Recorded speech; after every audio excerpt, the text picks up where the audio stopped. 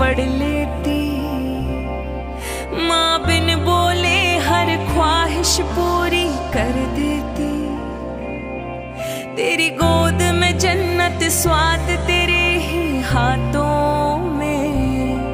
बच्चों के